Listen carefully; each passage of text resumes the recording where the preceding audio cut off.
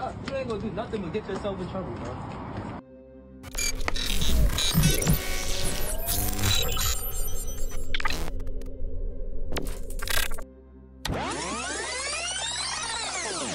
A brutal murder was captured on camera by a resident of Parkville apartment complex in Baltimore County, Maryland. 27 year old Shakia Allen can be seen running away from a man thought to be her ex boyfriend. She tells the man that she has a restraining order against him and then starts screaming as he continues to chase her through the parking lot. I have a restraining order on you. Call the police. Tell somebody call the police. That's why she recording you. Eventually, the man catches up to Shakia, tripping her, which causes the woman filming to yell out and threaten to call the police. Sadly, the police would arrive much too late, as in the next few seconds, the attacker would pull out a gun and fire multiple shots from close range, killing Shakia instantly. Guys, it is 6.02 a.m. Friday, February 22nd. Linda Michelita Rogers woke up just after 6 a.m. on February 22, 2018. She was excited to document her day in preparation for a national cheerleading event. The 12 year old talks about doing her hair and other things she needs to do to get ready. I went ahead and connected my straightener, and I still have to connect the curling iron. And um, I already got halfway started doing the braid, and um, what's left to do is the ponytail, straighten it, curl it, poof it, whatever. So, yeah. But then, while making a time lapse for her viewers, an explosion rocks the house and the screen goes black. Tragically, Linda would never make it to her event as she was killed in a gas explosion.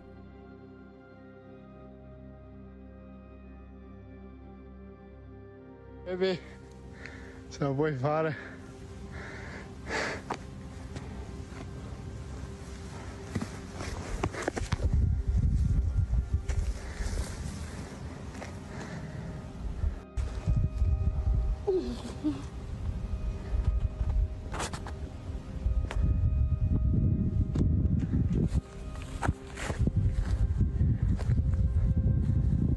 Andrea Mazziero and Sarah Brigante took a video of their hike in Italy. Little did they know, it would be their last taken together. Moments after the video ended, Mazzetto went to retrieve his phone from a nearby cliff's edge. However, he lost his footing and fell 330 feet to his death.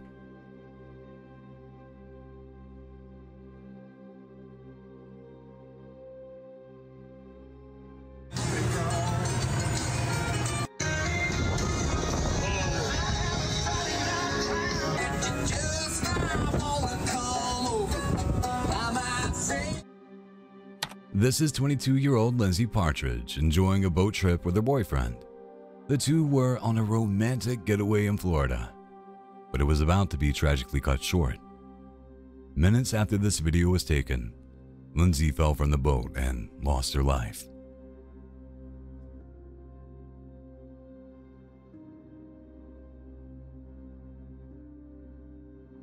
In April 2021, Kevin Lomas was found stabbed to death in the bedroom of his home in the West Midlands of England.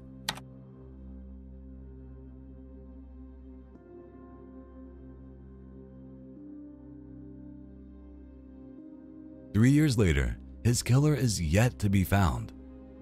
Police recently released the CCTV footage that shows Kevin's last known movements. He can be seen walking the streets near his home in the days before the murder. The video was released in the hopes that it may jog people's memory and encourage anyone with information to come forward. Here's hoping that Kevin can finally get some justice soon.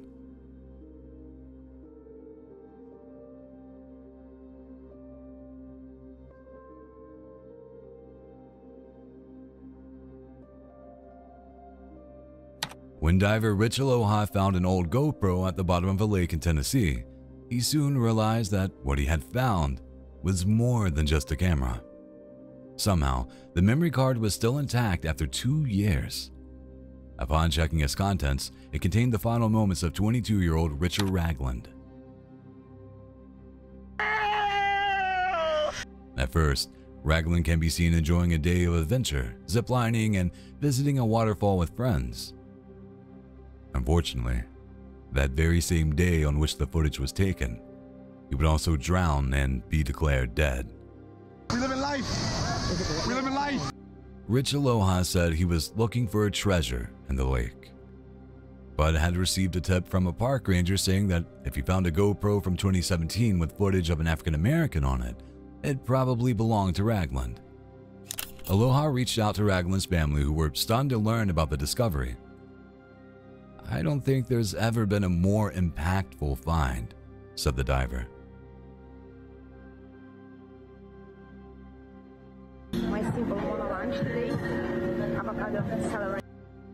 This is Zhanna Samsonova. She was a Russian influencer who often posted on social media promoting vegan, raw food diets under the alias Zhanna D'Art. She was extremely strict and boasted about having consumed nothing but fruits, sunflower seed sprouts, fruit smoothies, and juices. In 2023, during a tour of Southeast Asia, Zhanna tried subsisting exclusively on a diet of exotic fruit. However, this would fail to provide her body with all the nutrients she needed. Despite seeking medical attention, at the age of 39, Zhanna passed away, with many of her friends believing her so called healthy food choices were to blame for her death. Zhanna's videos now stand as a startling reminder of the benefits of a well rounded diet.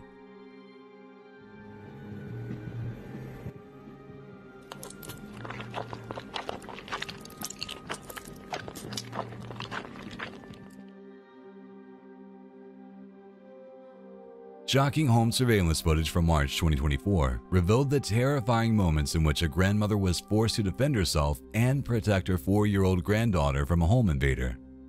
Get back! Get back! I have a gun! Get back! Get back! 911 emergency. There's a guy came into my house. He's trying to take my car. Please help me. Joseph Rivera, age 32, was captured on camera entering the home in New Mexico after crashing a stolen vehicle nearby. He demanded car keys from the panicked grandmother, who complied with his request before retreating to a bedroom, arming herself and locking the door. Get back! I will. What did you do? Because you're in my house! I will get you water, but if you hurt me, I'm gonna shoot you again. I'm so sorry. I'm so sorry. Oh God, this is not happening. When Rivera returned demanding more keys, the homeowner shot Rivera a single time. She can be heard in a panicked state offering Rivera some water but threatening to shoot him again if he hurts her. She also apologizes while waiting for the police. Surprisingly, Rivera survived and was arrested while passed out. He faces charges of burglary, attempted felony, and receiving slash transferring a stolen motor vehicle.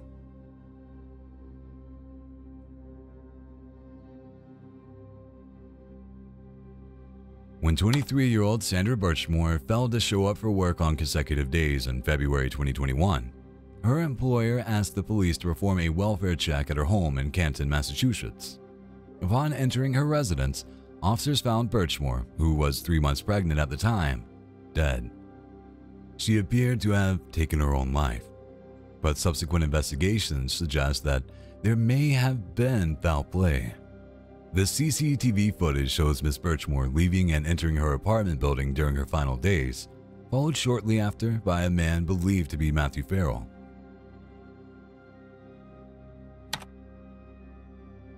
Farrell was a police officer who is alleged to have carried on an inappropriate affair with Birchmore, starting when she was just 15 years old.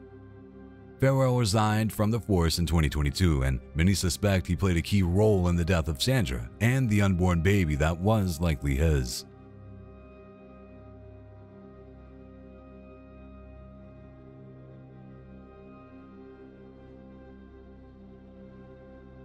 Hot.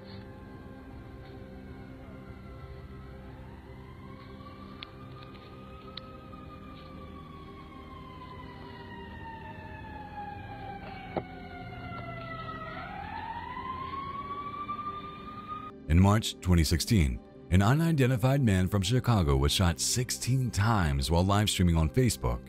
Less than three months after, 28 year old Antonio Perkins, seen here, suffered a similar fate. At the start of the video, the Chicago native can be seen drinking what he claims to be water while standing on the street, talking with friends and looking around. Hey, y'all, he got a drug muscle. Give my snowball. Give my snowball. Give my snowball. Give me my snowball. Then, around the 1 minute 16 seconds mark, a series of gunshots ring out. Perkins' phone tumbles through blood-stained grass and is picked up briefly before being dropped again and the screen goes black.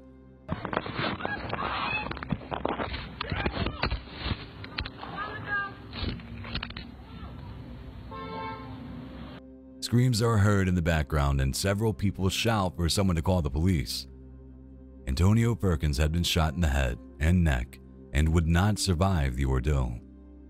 His final stream remains on Facebook and has been viewed hundreds of thousands of times.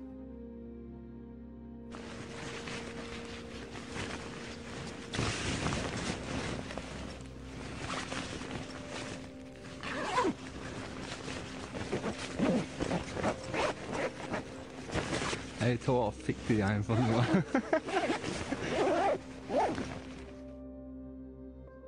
We've already seen how dangerous base jumping can be, and this next video serves as a chilling reminder. 28 year old Armin Schmieder was an experienced skydiver from Italy. In 2016, he live streamed a wingsuit flight, telling viewers, Today you fly with me, before leaping off a mountain in the Swiss Alps. So. Heute fliegt's mal mit. Aber ihr hört nur was. Ich stecke euch ein.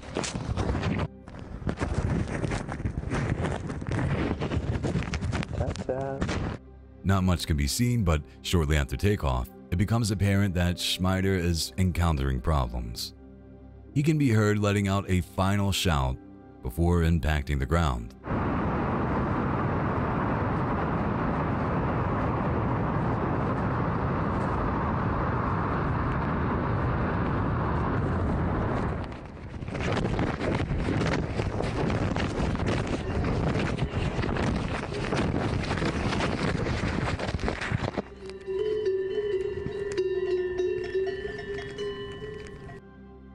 Then nothing but the eerie sound of cowbells for several minutes.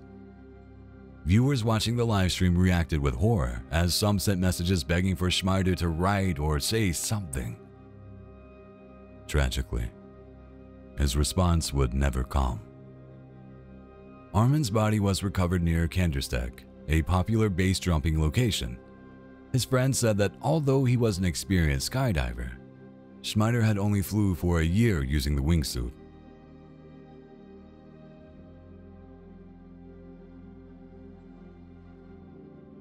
An altercation over a parking spot turned deadly in 2018 as 48-year-old Michael Drejka shot and killed 28-year-old Markeis McGlockton. CCTV from a nearby convenience store captured the events, showing that Drejka had been pushed to the ground moments before pulling out his gun and shooting McGlockton in the chest. Markeis McGlockton hadn't walked up to him the way he did and slammed him on the ground, we wouldn't be here having this discussion either. The case became a major news story when it was suggested that the killer might walk free, benefiting from Florida's Stand Your Ground law. It was argued that the shooter may have acted in self defense, though McGlockton's family and others who encountered the shooter strongly believed otherwise.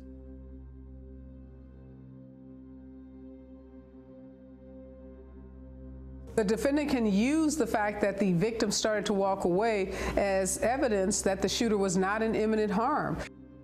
In the end, the judge sided with the victim, and in 2019, Drejka was sentenced to 20 years in prison.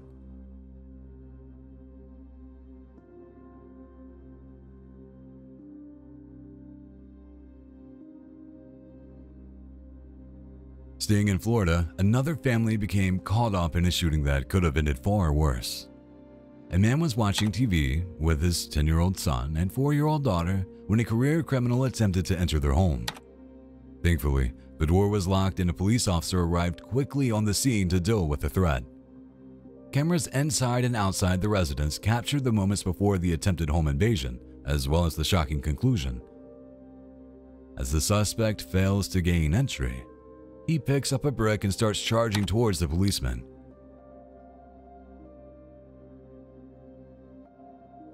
Meanwhile, the father opens the door to the house to see what's going on, and that's when the officer shoots the suspect. The father quickly shuts the door and tells his children to go to the bedroom. Thankfully, they didn't see what was going on outside. Even after being shot, the suspect charged the officer once more and was shot three more times before collapsing on the family's lawn. Who knows what could have happened if the career criminal had managed to get inside the house and thank heavens that he didn't.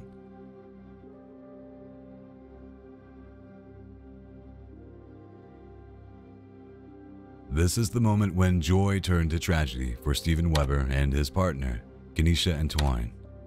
The couple had been staying at a luxury floating hotel in Pemba Island, Tanzania, in 2019 when Stephen decided to propose in a unique way. He swam down to the outside of their underwater hotel room and held a note against the glass that read, I can't hold my breath long enough to tell you everything I love about you, but everything I love about you, I love more every day. Will you please be my wife? Marry me.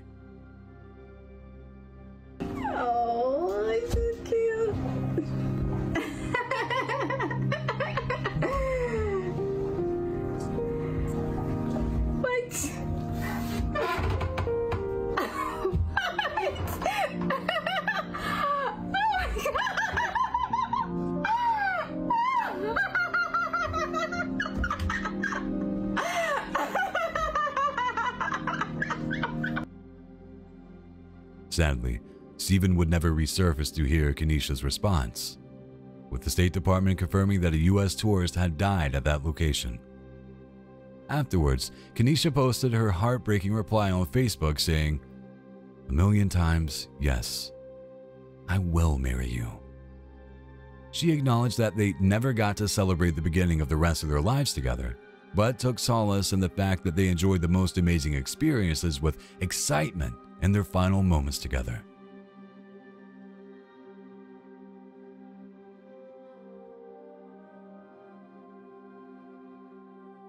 This home surveillance footage shows the last time Bradley Lyons would go to work and return home. It also shows a vigilante group arriving at his address, abducting the father of eight and driving away before killing him at a secondary location. Lyons was wrongly accused by his wife of carrying out sexual acts with her daughters. She enlisted the help of Nick Stefani and gang leader Albert Thorne to capture and torture her husband in a sickening ordeal.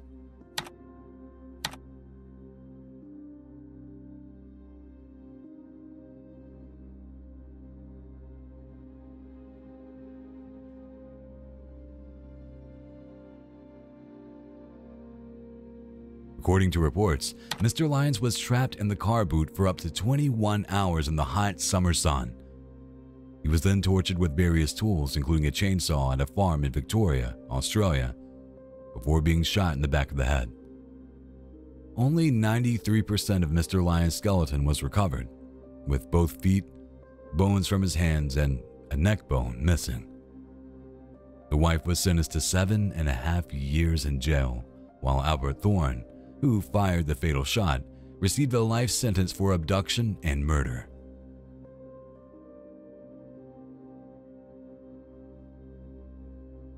A ring doorbell captured 16 year old Brianna Ghey leaving her home on the 11th of February 2023 and making her way to Culcheth Linear Park in Warrington, England. Sadly, she would never return home, as she was brutally attacked by two teenagers who had plotted her murder.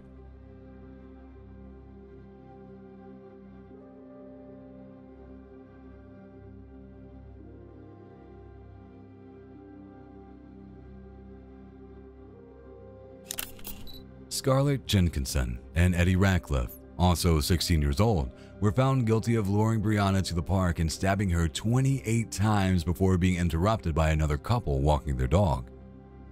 The killers, who are believed to be transphobic, were sentenced to 22 and 20 years in prison, respectively.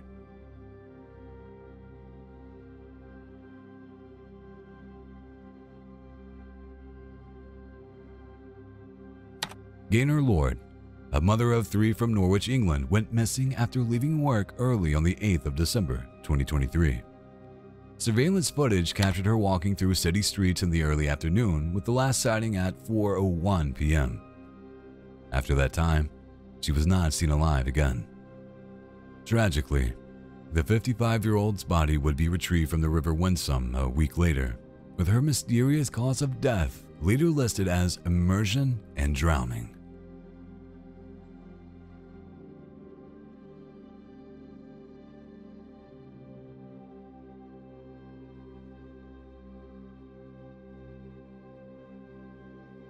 On June 27, 2023, five people, including two 15 year olds, were killed in a crash that happened on the 710 freeway in Long Beach, California.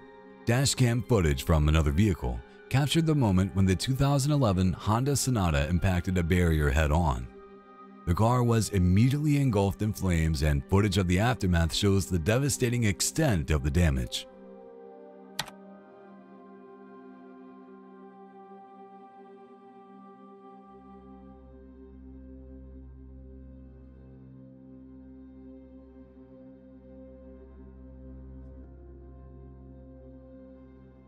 Police say that seatbelts may not have been used as some of the passengers were ejected from the vehicle.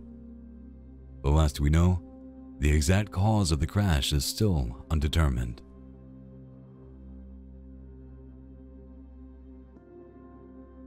Are you taking any type of medication at all? No. Are you supposed to take medication?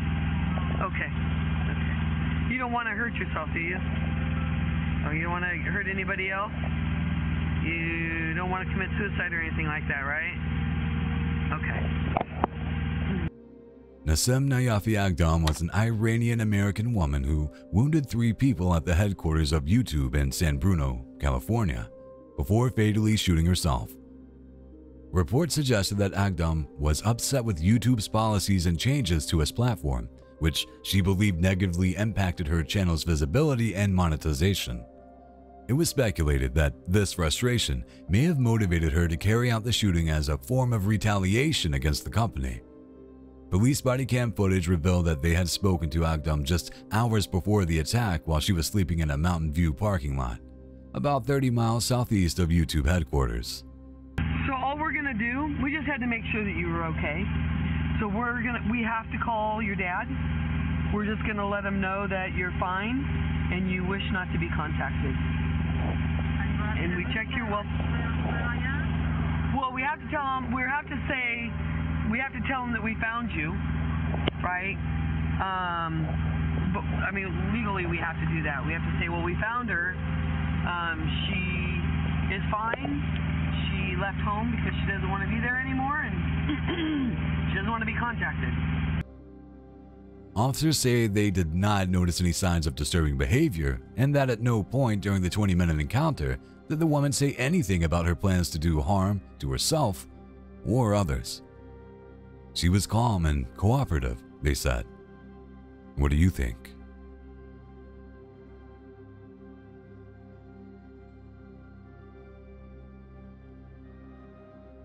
These images were taken just hours before Kaylee Jade Priest, a three-year-old girl, was found beaten to death at her home in Solihull, England. The footage from August 2020 shows Kaylee Jade leaving and entering the apartment building with her mother. Sadly, it would be the last time she did so alive. That evening, after putting Kaylee Jade to bed, her mother was having sex with her then lover when the young girl began to cry. Her cries disturbed them to the point where the couple grew angry and took out their frustrations by savagely beating the little girl. Kaylee Jade's injuries were likened to those of a child struck by a car at 40 miles per hour, and she sadly passed away overnight. The mother, Nicola Priest, and her lover, Caleb Redfern, were jailed for 15 and 14 years respectively. May Kaylee Jade rest in peace.